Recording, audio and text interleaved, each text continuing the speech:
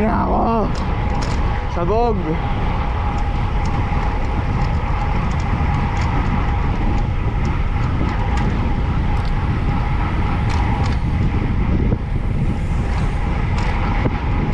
Ah, 48 na naman.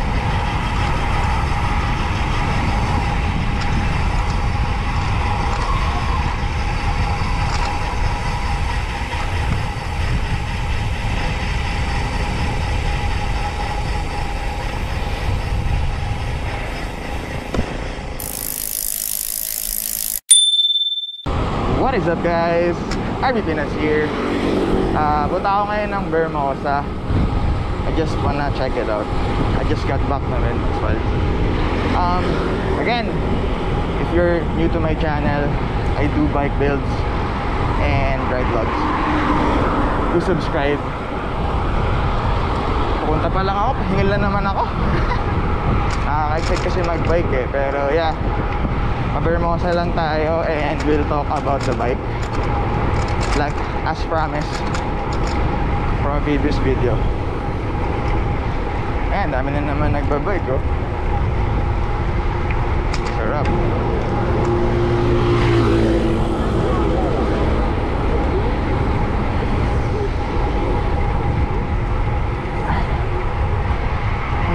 so yeah we'll talk about the bike and from the last video I was surprised no? Wala nagtatanong tungkol sa bike. So I think I should mention that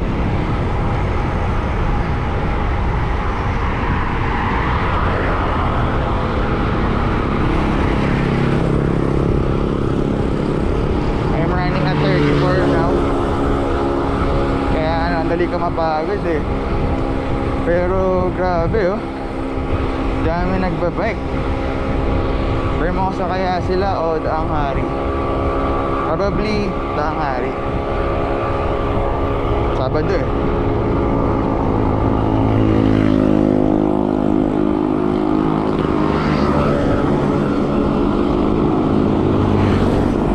Pahinga muna tayo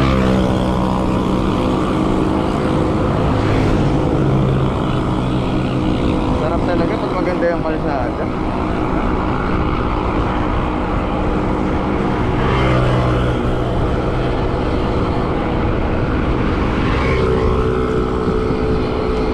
Sarap talaga i-ride ng i-ride oh.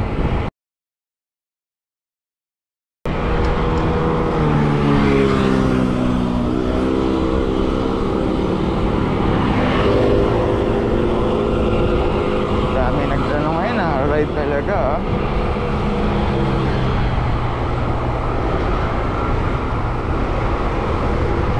Check we can go back. What are we saying na pag-uusapan natin yung bike? For the sake of clarity na rin sa iba. Tingin ko kasi, tingin ko kasi madaming speculations. So yeah. We'll do that. First, igutin na natin yung Vermosa. Para masaya.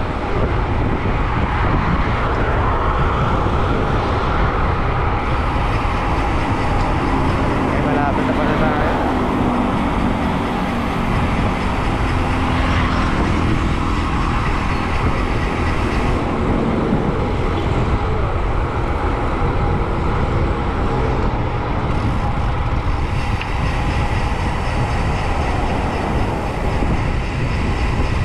Sarap daming kasabay, no? Pero sabi nga nila, iwas daw muna group rides. Parang wala na COVID.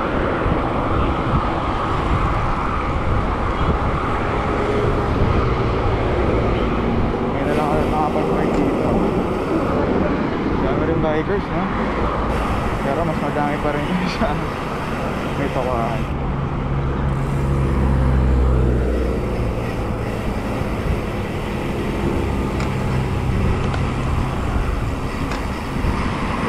talaga.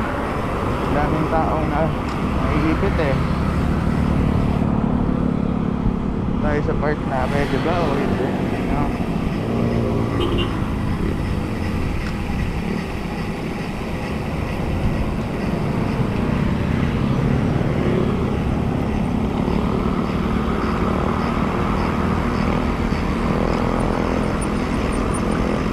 bawal guys ah.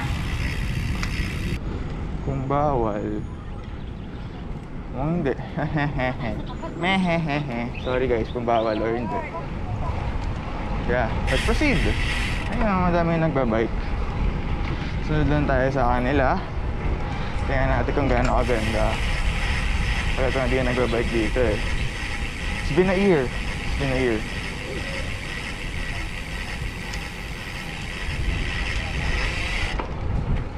Naalala niyo yung bike na Aerowick na Devil Carbon na nireview namin dito. Yun yung ulit kong ride dito. So a year.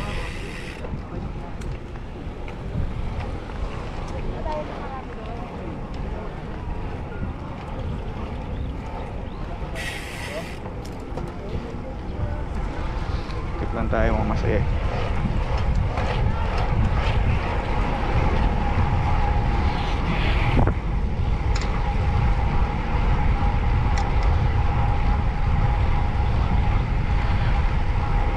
Kaya naman, hinihingal ko na naman yung sarili ko to death.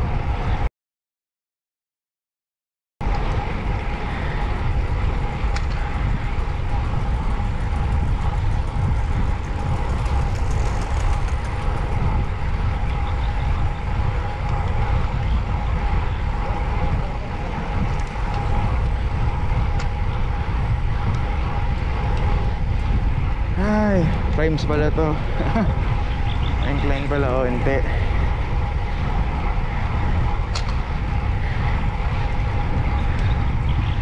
Every uphill should be a downhill.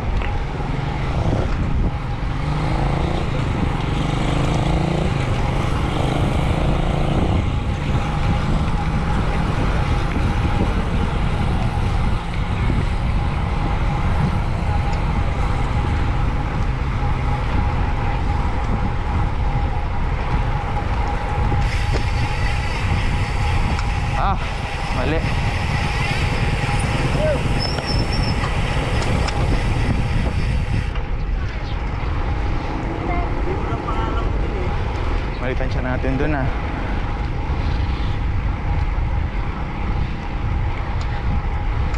Sarap, palamig dito. Yun guys. Malapit lang kayo sa Bermosa and gusto nyo na lang matry kumpara sa tukuan na madaming tao. Tara dito. First off, thank you for watching the bike reveal. Nakakatuwa, wala kasi nagtanong or nag-speculate sa frame set. If you're watching the previous uploaded videos regarding on what I called pandemic bike build, lagi kong sinasabi na lahat ng budget ko nasa DI2. Simply because may experience na ako sa carbon frame at gusto ko naman talaga ay ang DI2 system. So moving forward, this is a full-blown replica. Baka isipin nyo, porket replica, mura. I still spend around 200k for this build. Bakit yan na binili ko, no? Nung time na naghahanap ako ng frame set, may mga factor or checklist ako na gustong ma-achieve. First, the i2 system. Second, fully integrated frame para ayoko na kasi makita ng wires. Third, disc version. Fourth, aero pa din. Fifth, smaller than size 47. Nung time na naghahanap ako, alam nyo naman yon during mga November to December, nung nabenta natin yung bike, mahirap talaga makahanap ng frame set dahil pandemic and ang mahal ng price. Hindi ko na sasabihin kung anong frame talaga yung gusto kong bilhin na legit. Baka yun din kasi yung bilhin natin in a few months. Pagsawa na tayo kasi nga trip-trip lang naman tong frame na to. Let's go and talk about the specs. This is a Fenarello F12 replica sa akin lang, don't ask kung saan ko siya binili kasi I will not be an advocate to tell you guys to buy this kasi nga hindi natin alam kung safe ba or may assurance ba tayo. Uh, galing itong ibang bansa, sabi ni seller, Taiwan manufacturer sila at T1000 naman yung frame kaya siguro magaan yung frame. Frame itself is around or the weight is 1080 grams nung time na bumili din ako sa kanila, nasa 200 to 300 ang nag-avail ng frame sa kanila. At nag-send pa nga siya ng pic. Akala mo talaga, Pinarello Factory.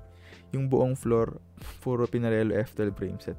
Tumagal ng 2 months yung waiting time kasi nga madami nagpapagawa and itong size 44 frame, wala sila in stock unlike tulad ng ibang frame set that they can ship out. Um, tulad nga sinabi ko, we'll talk about the quality uh, on the next video. Sa wheelset naman, replica din.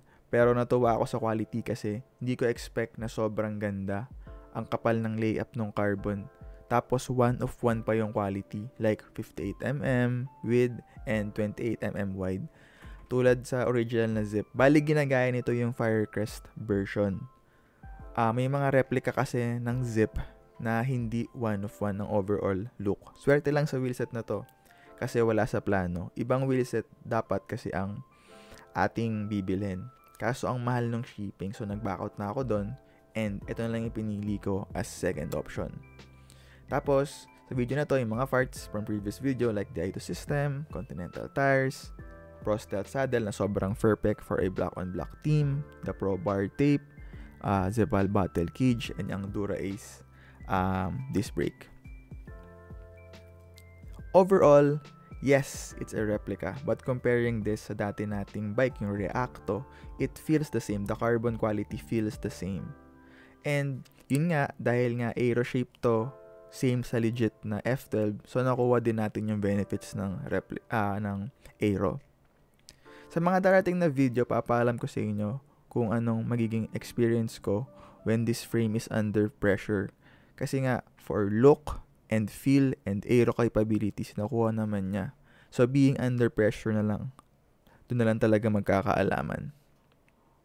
Ito muna for now. I'll give you more details on upcoming videos. Hope you like this. Thanks. Bye.